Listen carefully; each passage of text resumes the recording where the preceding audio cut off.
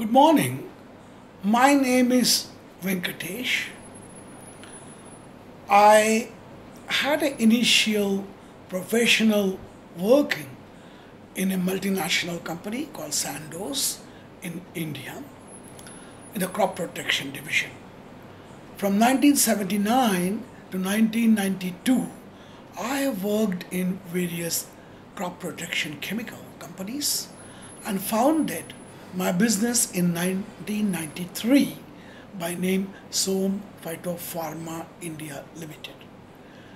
The initial manufacturing activity was for neem based biopesticides and other crop protection products.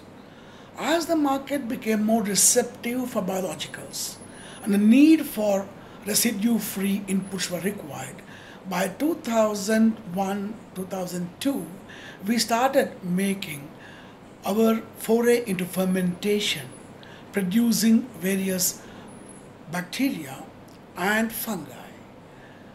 And we started taking the soil samples isolated useful soil beneficial microorganisms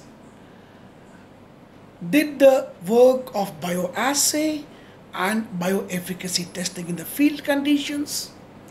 Then we sought a state biodiversity board's agreement for access benefit sharing and then deposited the strains which we isolated in the Budapest Treaty recognized depository.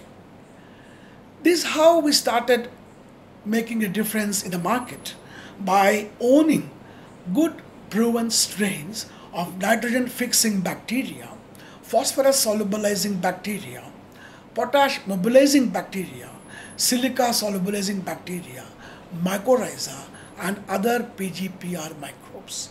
Thus, a good number of useful strains have been developed by us and commercialized by us.